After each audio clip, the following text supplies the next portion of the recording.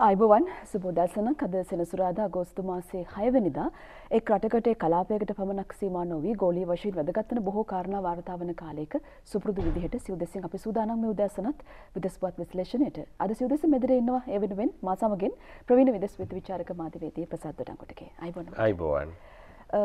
ලෝකයේ සමහර කලාපවල සමහර රටවල් අතර තියෙනා වූ අර්බුදකාරී තත්ත්වයන් උණුසුම් තත්ත්වයන් විටින් විට වාර්තා වෙන විවිධාන්දමින් අපි තෝරාගත්ත විශේෂ මාතෘකාවක්. ඒ තමයි ගෙවුණු පැය කිහිපේ විදෙස් පුවත් අලුත් කරපු උණුසුම් කරපු මාතෘකාවක් ඊශ්‍රායල පලස්තීන අර්බුදයේ තවත් ස්වරූපයක්. මේ මොකද ගෙවුණු පැය කිහිපය වෙනකොට තවත් මරණ බොහොමයක් සහ තුවාලකරුවන් බොහොමයක් වාර්තා වුණා. ගාසා තීරය මූලික කරගෙන එල්ලවන ප්‍රහාරයන් නිසා ඊශ්‍රායල පලස්තීන අර්බුදය. ඔවු සංජීවනි. දැන් මේක තරමක් නිහඬව තිබිලා මේ මාතෘකාව අපි යම් යම් අවස්ථාවල දීර්ඝ වශයෙන් කතා කරන්න සිද්ධ වුණා මේ ගැටුම් උත්සන්න වෙද්දී ඊශ්‍රායල් සහ පලස්තීන පාර්ශව අතර.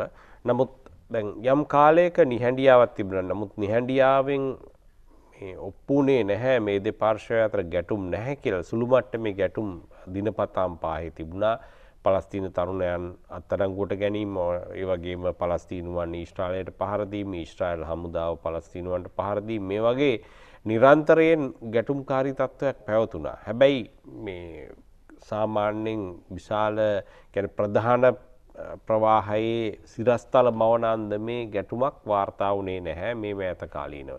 ද අපිට දැන් අලුතෙම්ම ඊය රාත්‍රිය ඇතිවෙච්ච මේ ගැටුම්කාරී තත්ත්වයක් එක්ක ඊශ්‍රයිල් පලස්තීන බරපතල ගැටුමක් මහා පරිමාණි ගැටුමක් නිර්මාණය වෙමින් තියෙනවාද කියලා සැකයක් මතු වෙලා තිබෙනවා. ඊශ්‍රායිලය ඊයේ එල්ල කලා පලස්තිනය ගාසා තීරයට ප්‍රහාර කිහිපයක් ඒ ප්‍රහාරවල දී ඔවුන් ගුවන් ප්‍රහාරය වගේම ඩ්‍රෝණ ප්‍රහාර වගේ අධි තාක්ෂණික ක්‍රමවේද යොදා ගනිමින් ප්‍රහාර එල්ල කළ බව තමයි වාර්තා වෙන්නේ. එතකොට මේ ඊශ්‍රායල් ආරක්ෂකයන් එල්ල කර ප්‍රහාරයෙන් පලස්තීනුවන් දහ දෙනෙක් මිය ගිහිල්ලා තිබෙනවා. ඊශ්‍රායල් සංඛ්‍යාලේඛන වලට අනුව 15ක් මිය ගියා කියලා තමයි ඊශ්‍රායලය සඳහන් කරන්නේ.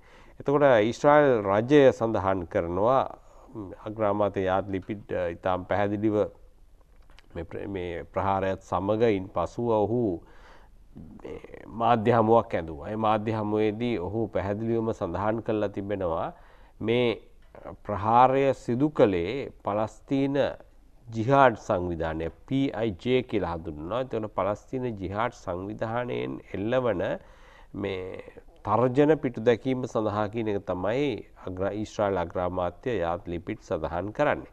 එතකොට දැන් පලස්තීන පාර්ශවයෙන් එල්ලවෙච්ච මේ තර්ජනවලට මුහුණ දීමේදී දැන් අග්‍රාමාත්‍යවරය සඳහන් කරා මේ තර්ජන ගැන ඊශ්‍රායලය දැනුවත් වනේ මීට සතියකට පෙර පලස්තීන ජාතිකයෙකු අත්අඩංගුවට ගත්ත සැක කටයුතු ජාතිකයෙක්. ඒ වගේම එම පුද්ගලයාගෙන් ලබාගත තොරතුරු මත රේඩ් සේමත් නැත්තම් මේ අත්අඩංගුවට ගැනීම් කිහිපයක් සිද්ධ වුණා. ඒ වගේම මේ ඉන් පසුව ඒ තොරතුරු මත මේ ප්‍රහාරය දැන් ඊ එල්ල කර ප්‍රහාරය සැලසුම් කෙරුණේ අර අල්ලාගත්ත මේ ජිහාට් සාමාජිකයාගේ ඔහු ලබාදුන් තොරතුරු අනුව කියල තමයි වාර්තා වෙන්නේ. එතකොට දැන් මේ එල්ල කළ ප්‍රහාරය ගාසාතීරයට ඒ වගේම මේ බටහිරිවුරෙත් ස්ථාන කිහිපයකට ඉශ්‍රල් හමුදාව ප්‍රහාරටලා ඇතර මේක බොහෝදුරට අර අත්තරංගුට ගැනීමේ ස්වරූපය සඳහා මේ ඒ ආකාරයෙන් සකස් කෙරුණු මෙහියුම් තමයි බටහිරිවුර ඉලක්ක කර ගැනුනේ එතකොට එම ක්‍රියාවලිය තුළ ප්‍රධානම ජිහාඩ් නායකෙකු ජිහ ඉස්ලාමයක පලස්තීන ජිහාඩ් සංවිධානය නායකයෙකු මේ ගිල්ල තියෙනවා කියලා දැනට BBC ඇතුළු වාර්තා සඳහන් කරනවා. එතුට දැන් මේ ප්‍රහාරයත් එක්ක අපිට නැවත වතාවක් හිතන්න වෙනවා ඊස්ට්‍රයිල් පලස්තීන ගැටුම පිළිබඳව මොකද මේ ගැන ලෝකය පුරාම දැඩි අවධානයක් යොමු වෙලා තියෙනවා මේ ඊස්ට්‍රයිල් පලස්තීන ප්‍රශ්නය දැන් අපි ගත්තොත් එක්දස් නම්සය හතලිය දශකේ හතලිස් අටේදී ඊශ්‍රාලය බිහිවුණාට පස්සේ. එදා ඉඳලා මේ දක්වා මේ පලස්තීන ගැටුම අපි දකිනවා. මේකට ප්‍රධාන හේතු වෙන්නේ ඊශ්‍රාලයකෙන් රාජ්‍ය බිහිවෙන්නේ ඒවකට කැනේ එක්සත් ජාතින්ගේ සංවිධානයෙන් ලෝක දෙවන් ලෝක යුද්ධයෙන් පසුව කරන ලද නිර්දේශ අනුව මේ දැනට ඔය ඊශ්‍රායලය පිහිටලා තියෙන භූමියේ ඊශ්‍රායල්වරුන් සහ පලස්තීනුවන් සඳහා රාජ්‍ය දෙකක් වෙන වෙනම ස්ථාපනය කිරීම තමයි යෝජනා කරලා තිබුණේ. හැබැයි ඊට පෙරාතුව ඊශ්‍රාලය මේ පලස්තීන ප්‍රදේශත් පලස්තීනුවන් සඳහා වෙන් කල තිබිච්ච ප්‍රදේශත් තමන් අතට තමන්ගේ ග්‍රහණයට අරගෙන එතකොට ඊශ්‍රාල් රාජ්‍ය යුදෙව් රාජ්‍ය පමණක් බිහි කලා තොට එතෙන්දී ඊස්ට්‍රාලේ බිහිවෙද්දිම ලක්ෂයකට අධික පලස්තිීනුවන් අවතැන්නෙන මොකද ඔවුන්ගේ ගම්බිම් ගෙවල් තුරවල් ඊස්ටාල් තිනේ අවස්ථාව පැහැරගන්නට ඉන් පසුව ඔවුන් කොටු වුණා. පලස්තීනුවන් කොටු වුණා ඉතා දුෂ්කර තත්ත්වයන් සහිත ප්‍රදේශ දෙක්කට ගාසාතීරයට සහ බටහිරිවුරට. දැන් එම ඒ අනුව තමයි අපිට වාර්තා වෙන්න මේ මෑතකාලීටම ඊශ්‍රයිල් පලස්තිීන ගැටුම්කාරි තත්ත්වයන් සැලකිල්ලට ගත්ත හම මේ ගාසාතීරය කියන ප්‍රදේශය මොකද ගාසාතීරය පාලනය කරන්න හමාස් සංවිධානය. ඒ වගේම මේ බටහිරවුර ප්‍රදේශය පාලනය මෙහෙ වන්නේ හිටපු නායගේ අසරර්ෆත්ගේ මූලිකත්වෙන් ක්‍රියාත්මක වෙච්ච ෆාදා සංවිධානය එතකොට දැන් එම ප්‍රදේශ දෙකේ දෙකාතරින් ගත්තොත් අපිට මේ දකුණු දිග කැනේ ඊජිප්තුට මායිම් වෙලා තියෙන පලස්තිීන බිම්කඩ එමත්නතන් ගාසා තීරය ඉස්ට්‍රයිල් නිරන්තරයෙන් ප්‍රශ්න ඇති කරන තීරයක් බවට පත් වෙලා තියෙන මොකද ඒ ප්‍රදේශයඉදල තමයි යම් යම් ක්‍රියාකාරකම් සිද්ධ වෙන්න ඉස්ට්‍රයිල් ලක ගනිමින්. ඒ වගේම දකුණු ඊශ්‍රායිලය ගත්තහම මේ වෙනකොට දැඩි තර්ජනාත්මක තත්ත්වයක් තියෙනවා කියලා තමයි ඊශ්‍රායලය සඳහන් කරන්නේ. මොකද බුද්ධ්‍යාශම වාර්තා මත පදනම්ම මේ කලාපේ ඊශ්‍රායලට දකුණින් පිහිටි කලාපය තුළ ත්‍රස්තවාදී කණ්ඩායම්වල එකතුවක් මොකද ලෝකය පුරාම සිද්ධ වෙච්ච ප්‍රහාරවලදී යම් යම් මේ ත්‍රස්තවාදී ක්‍රියාකාරකම් පාලනය වුණ. නමුත් දැන් මෙතෙන්දී ඊශ්‍රායලය පෙන්නුම් කරන්නේ මේ ඔවුන් සහ පලස්තීනුවන් අතර තියෙන මේ සටන. ඊශ්‍රයිල් දකින්න ත්‍රස්තවාදි ප්‍රශ්නයක් විදිහට පලස්තීනුවන් දකින්නේ මේක නිදහස් සටනක් විදිහට.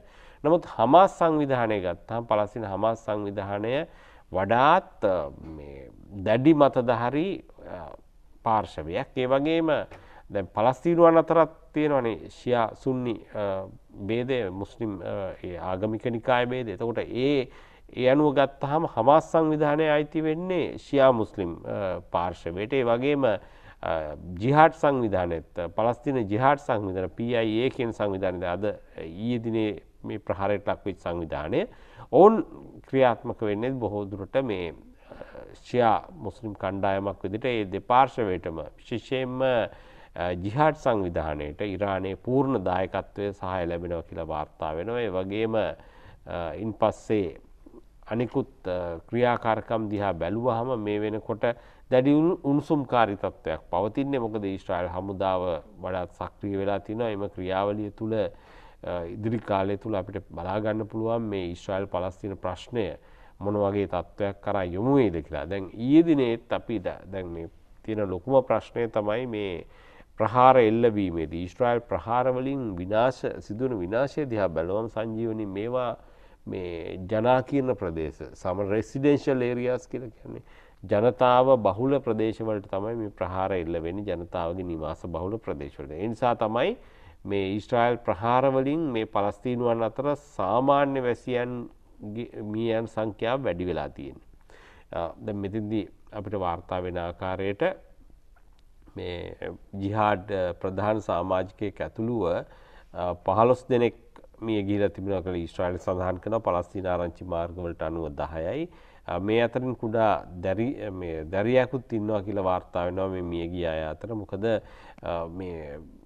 එල්ල වෙච්ච ප්‍රහාරවලදී ඇගේ නිවසටත් වෙච්ච හානිය අනුව තමයි මේ තත්ත්වය වාර්තා වෙන්නේ. ඒක වාර්තාව තිබුණ. කැරද ඉහලින් ප්‍රහාර එල්ල වෙද්දී පලස්තිනය ප්‍රධාන නගර තුනකම යුද්ධ සයිරන්නලා වාදනය කරා කියලා. ඕ එකැනෙ ගුවන් ප්‍රහාර අනතුරුවඇඟවීම් මේ සයිරන් හඬ නැග්ගවා නමුද වෙලාතිීන් සංජීවනී මේ පලස්තීනුවන්ට මේ මිදන්න බැහැ මොකද ඔවුන්ට මේ ආරක්ෂාවීමේ විශේෂ ආන්ත්‍රණයක් නෑ. වගේ මේ ඊශ්ට්‍රයිලය මේ ප්‍රහාර සඳහා යුදාගන්න ඔවුන් සතු නවීනතම අවී දැන් අපි ගත්තොත් බිම්මට හෙලන බෝම්බ ගත්තහම බංක බස්ට කියන්නේ කොංක්‍රීත් අට්ටු විදගෙන ගිහිල්ලා ඉන් පස්සේ හිස්සිලකදී පුපුරායනාකාරය බෝම්බේ ඒවා පැහැදිලිම සැල්සුම් කළ තියෙන්නේ බංකර් ගතව ඉන්න පුද්ගලයන් විනාශ කරන්න. ඒ වගේ ඉස්ට්‍රාලය සතු විවිධ නවීන යුදෝපකරණ මේ මෙහෙයුම් සඳහා යොදා ගන්නවා.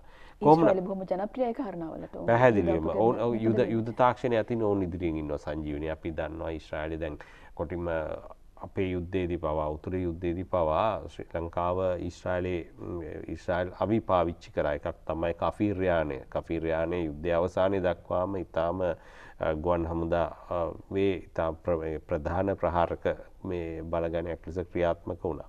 ඉන් පස ඩෝවරා යාත්‍රා මේ නාවික හමුදාව පාවිච්චි කර කාලාන්තරයක් තිස්සේ. එට වගේම මුලින්ම ඔය මේ ඩ්‍රෝන්ස් කැන්නේ මුලින් අර්කේලමක් කියලා හඳුන්නපු ඒ යාන ඉස්්‍රයිල් තාක්ෂණය පාවිච්චි කරේ වගේ ඉස්්‍රයිල් යුද්ධ තාක්ෂණය විවිධ කාලවල පාවිච්චි කර ලෝකය පුරාම යුදාගන්න මොකද ඔවුන් සතු ඉතාම නවීන යුද්ධ තාක්ෂණයක් තියෙනවා. දැ ඊයදිනේ මේ ප්‍රහාරවලදිත් අපිට වාර්තාවිච දෙයක් තමයි සංජීවනී පලස්තින පාර්ශවය ප්‍රහාර ගණනාවක් එල්ල කලා ඊස්ට්‍රයිලයට කියන්නේ ඉස්ට්‍රයිල් ගුවන් ප්‍රහාරය ආරම්භවීමට පෙරාතුව මේ ඉස්ට්‍රාලය මුලින්ම ජිහාට සංවිධාන සාමාජිකයන් අත්තරංගුවට ගැනීම සිද්ධියත් එක්ක අපිට වාර්තා වුණා පලස්තීනුවන්. දැන් පලස්තිීන පාර්ශවය ඔවුන්ට මේ ඉස්ට්‍රාලයේ යුද ශක්තිය සමඟ හැප්පෙන්න්න බෑ. නමුත් ඔවුන් ඉස්ට්‍රයිල් රිදවීම සඳහා විවිධ වූ ක්‍රම පාවිච්චි කරන එකක් තමයි ඔවුන් සතු රොකට් වැඩි පද්ධතිය. පලස්තීනුවන් සතු රොකට් වැඩි පද්ධති ස්ට්‍රයිල්ට අභියෝගයක් වුණා. මොකද ඔවුන් කරන්නේ එක විට රොකට් වැඩි සිය ගණනක් එල්ල කිරීම. ඒක ඇත්තටම සිද්ධ වෙන්නේ ඉස්්‍රාලය කොයි පලාතට කොයි කොතැන්ට රොකටයක් පැටනවාද කියලා කියන්න බැයි ඒ වගේ ඔවුන් පලස්තීනුවන් ඉතා වේගෙන් ක්‍රියාත්මක වෙලා ඒ ප්‍රහාරය සිදු කරනවා. එතොට ඉස්ට්‍රාලය අවසානයේදී ඔවුන් සතු තාක්ෂණය පාවිච්චි කළ මේ රොකට් වෙඩි වලින් ගැලවීමේ රොකට් වෙඩි විනාශ කිරීමේ යාන්ත්‍රණයක් යොදාගත අයන්ඩෝම් කියන ආරක්ෂක පද්ධතිය. මේ ආරක්ෂක පද්ධතිය යටතේ එන ඉස්්‍රාලය තුළට එන රොකට් වෙඩි විනාශ කරනු ලබනවා ප්‍රති අවි මාර්ගයෙන් ඉතින් මේ මේ තාක්ෂණය තමයි යෙදිනෙත් ක්‍රියාත්මක වුණේ. පලස්තිීනුවන් එල්ල කළ රොකට් වෙඩි විශාල සංඛ්‍යාවක් විනාශ කරන්න හැකි වුණා කියලා වාර්තා වෙනවා. දැන් මේ සිද්ධියත් එක්ක අපිට පැහැදිලිව දකින්න ලැබෙන දෙයක් තමයි මේ මැද පෙරදිග කලාපයේ තියෙන ඓතිහාසික ප්‍රශ්නයක්. මොකද ඊස්ට්‍රාල් පලස්තින ප්‍රශ්නය ගත්තහම මේක ආගමික වශයෙන් ගත්තත් යුදෙව් සහ ඉස්ලාමීය ප්‍රජාවන් අතර වෙන ගැටුමක් විදිහට අපිට පෙන්නුම් කරන්න පුළුවන්. ඒ වගේම මේකේ ප්‍රධානම සාධකය වෙන්නේ භූමිය. භූමිය පදනම් කරගත ගැටුමක් තියෙන අප මේ අන්තර්ජාතික අධ්‍යයන අනුව මෙහි තියෙන මේ විවරණාත්මක තත්ත්වය බැලුවහම එතකොට මේ පලස්තීන භූමිය සම්බන්ධ තමයි. කැන්නේ අපි මුලින්ම කතා කර ඉස්ට්‍රාලය කරන්න භූමිය පැහැරගන්න එක පලස්තීනුවන් සතු ඔවුන් පලස්තීනුවන්ගේ ගම්බිම් අල්ලගෙන ඔවුන් පලවාහරනවා අදටත් පලස්තින ජාතිකයන් මේ මැතිපරදි කලාපය පුරාමත්. ඒ වගේම ගාසා සහ බටහිරයුර කියන ප්‍රදේශවලත් පලස්තීනයට අයත් ඒවයි ඇතැම්මට නිවාස නැහැ. ඔවුන් අර අතීතයේ තමන්ගේ පරම්පරාවට නිවාස අහිමිවුණට පස්සේ ඔවුන් දිගටම සරණාගත කඳවරුවල ජීවත් වනේ ති ඉතාම කේදනීය තත්ත්වයක් දැන් මේ ඉස්්‍රයිල් පලස්තින ප්‍රශ්නය සමනය කරන්න යම් කිසි ආකාරයක උත්සාහත් දරුණ එක්දාසම්සේ අනු තුන අවුරුද්දදී හිට එවකට හිටපු ජනාධිපති ඇමරිකානු ජනාධිපති බිල් කලින්ටන් ඒවගේම ඉස්ට්‍රයිල් අග්‍රම අගමැති චක්‍රබීන් සහ පලස්තින නායක අස අර්ෆත් සහ එවගේම ජෝර්ධානයේ හුසෙන් රජතුමා. එතකොට එම පාර්ශව එකතු වෙලා තමයි මේ මැද පෙරදිග සාමගිවිසුම ඇති කරගත්ත නමුත් අවාසනාවකට දෙදාහවුරුද්දෙන් පස්සේ සාමගිවිසුම ක්‍රියාත්මක වුණේ නෑ.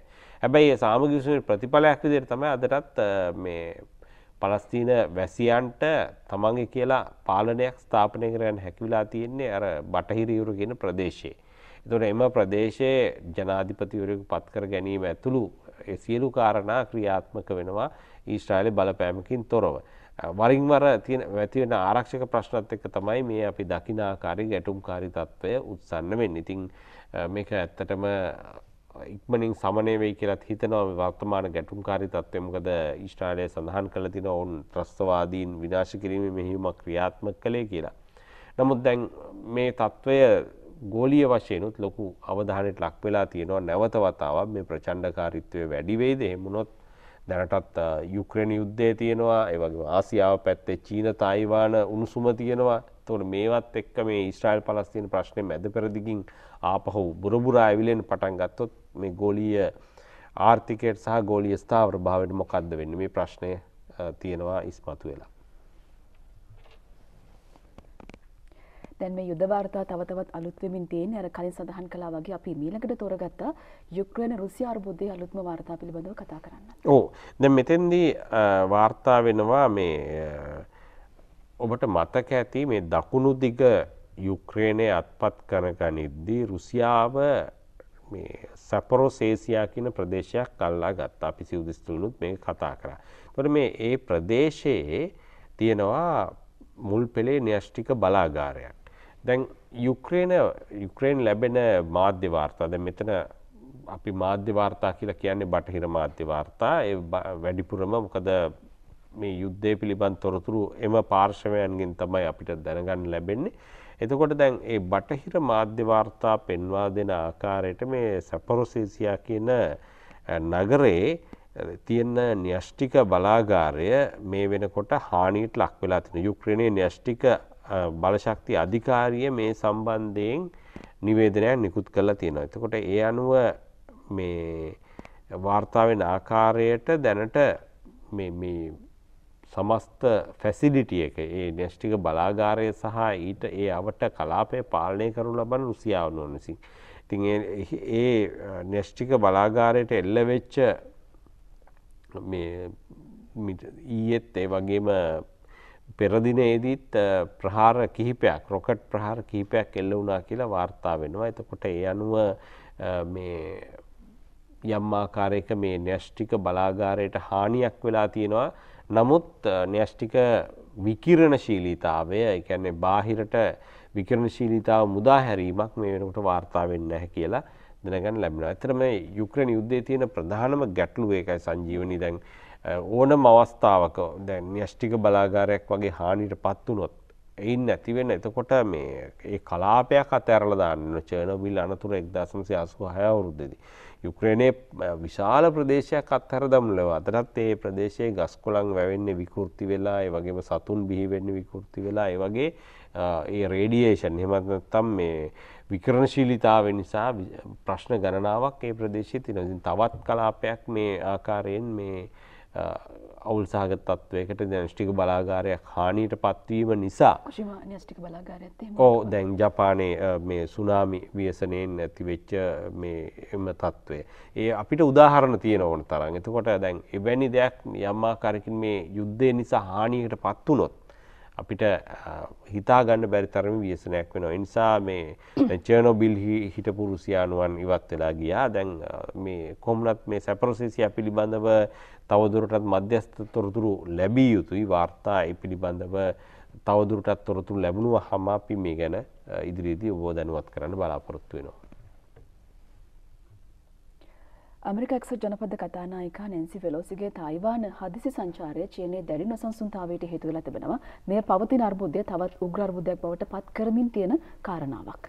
ඕ දැන් මේ මාධ්‍ය වාර්තාවල තියෙන ආකාරයට සංජීවනි මේ වෙනකොට ඇමරිකාව සහ චීනය අතර ඊටාම බරපතල රාජතාන්ත්‍රික ගැටලුවක් නිර්මාණය වෙමින් පවතිනවා. මේ මාධ්‍ය වාර්තාවල දැක්වෙන ආකාරයට චීනය මේ වෙනකොට වැඩපිළිවෙලක් ක්‍රියාත්මක කරගෙන යනවා මේ ඇමරිකා එක්සත් ජනපදය සමග තියෙන සහයෝගිතාව. ප්‍රධාන ප්‍රශ්න සම්බන්ධයෙන් තිබෙන සහයෝගිතාව තාවකාලිකව අත්හැර කැනේ අත්හිටුවන්නට. BBC වාර්තාවේ දැක්වෙන්නේ මෙහෙම Taiwan tensions China holds cooperation with US on key issues. මොනවද මේ key issues? එනද ප්‍රධාන කාරණා. මුලික වශයෙන්ම මේ චීනය සහ ඇමරිකාව අතර තින ආරක්ෂක සාකච්ඡා දෙරටේ හමුදා මෙහිව් හමුදා යෙදවීම් පිළිබඳව ඒවගේ අන්තර්ජාතික කලාපයන්හි අන්තර්ජාතික මුහුදේ ගුවන් කලාපේ සිදු කරන ක්‍රියාකාරකම් මේ පිළිබඳව යම්කිසි ආකාරකින් ඇමරිකාව සහ චීනය අතර ගැටුම්කාරී තත්ත්වයක් වැළැක්වීම සඳහා තමයි මේ සාකච්ඡා සංවිධාන කළ තිබෙන්නේ. ඉතින් කොහොමනත් දැන් එම ආරක්ෂක තොරතුරු පිළිබඳ ඒ කියන්නේ මිලිටරි ටෝක්ස් මේ වෙනකොට බිඳ වැටලා තියෙනවා. ඒ වගේම මේ දෙපාර්ශ්වය අතර හුඟක් අවධානයට ලක්වෙච්ච කාරණයක් තමයි මේ ක්ලයිමට් චේන්ජ් දේශගුණික ගෝලිය දේශගුණික වෙනස් වීම.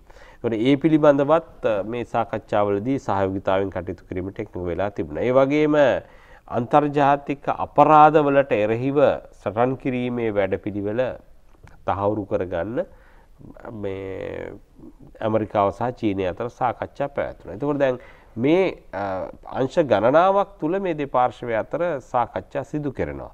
හැබැයි දැන් ප්‍රශ්නේ තියෙන්නේ දැන් තායිවාන නැන්සි පැලෝසිගේ චාරිකාවත් සමග චීනය දැඩි ස්ථාවරයකට එළඹිලා ඉන්නවා මේ ඉදිරි කාලය තුල මෙවැනි ක්‍රියා සිදු නොවිය යුතුයි කියන තත්ත්වය මත. එතකොට දැන් අපිට මෙන්න මේ කාරණේ තමයි ප්‍රධාන වශයෙන්ම මෙතෙන්දි කතා බහට ලක් කරන්න වෙන්නේ. එතකොට මේ සහයෝගිතාව අත්හැර දැමීම පමණක් නෙවෙයි ඒ වගේම අපි දන්නවා තායිවානයට තායිවානයේ ආශ්‍රිතව චීනය සිදු කරපු යුද්ධාභ්‍යාස දැන් අපි ඒ කතා කරා බැලස්ටික් මිසයිල් කීපයක් ඒ මුහුදු තීරයේ අත්හදා බැලීම කියන කාරණේ.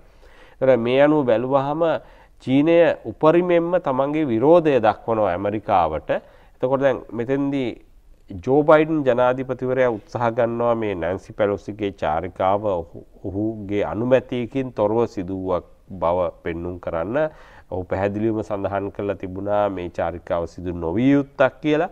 කොහොමද දැන් මෙතන නැන්සි පැලොසිගේ ක්‍රියාකාරකම් දැක්කහම අපි ඇය ඊටාම මේ මේ දැඩි චීන විරෝධී ස්ථාවරයක් දරන ඇමරිකානු දේශපාලනඥවරයෙක්. ඒ වගේම පැලොසි එක්දාසම්සේ අනුව එකේදි චීනයට ගිහිල්ලම විරෝත්තාවයක් පැවැත්තුව චීනයේ තියනන්මෙන් චතුරශ්‍රයේදි බේජිං අගනුවර.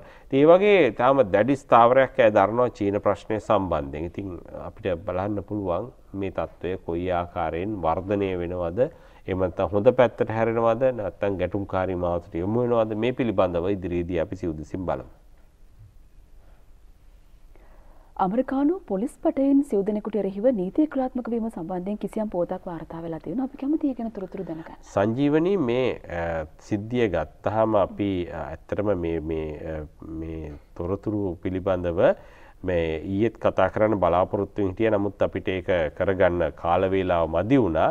මේ මෙතෙන්දී අපිට වාර්තා වෙන දෙයක් තමයි දැන් ඇමරිකානු ඇමරිකානු සමාජය තුළ බරපතල ගැටලුවක් තියෙන මොකක්ද මේ ගැටලුව?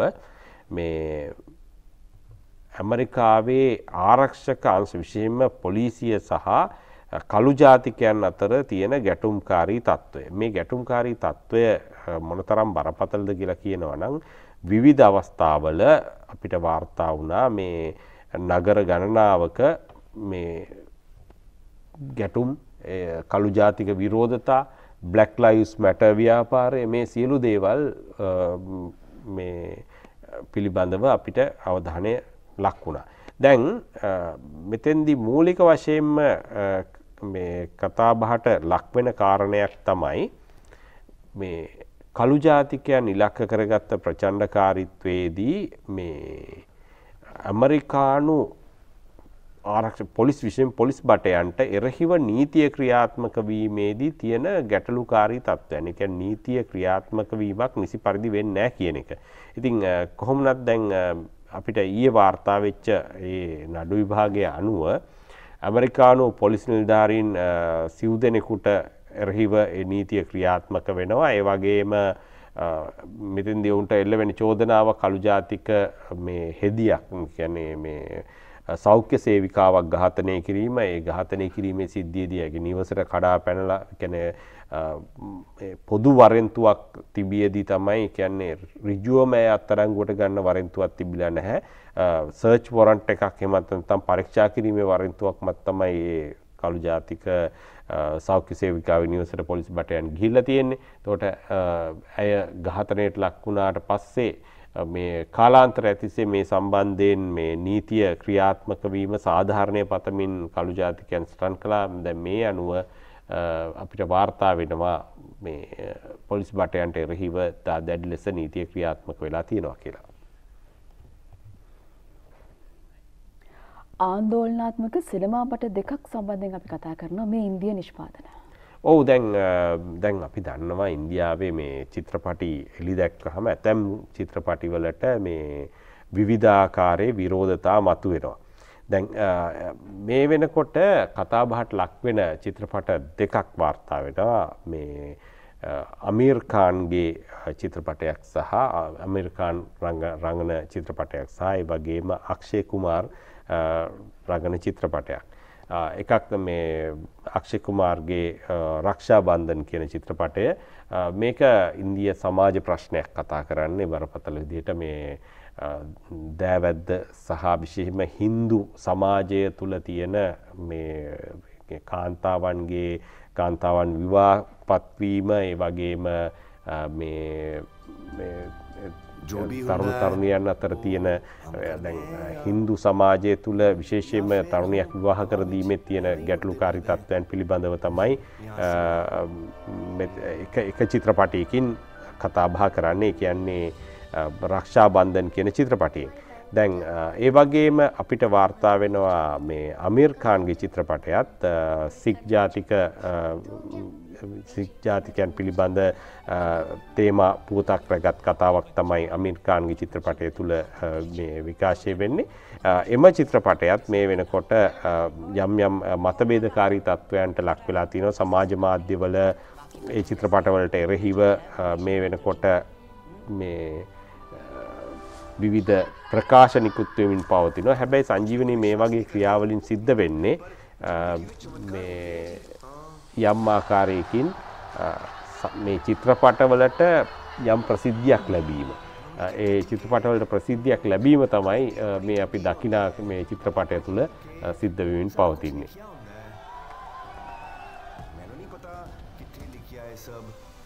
किसने लिखा है और क्यों लिखा है जो लिखा है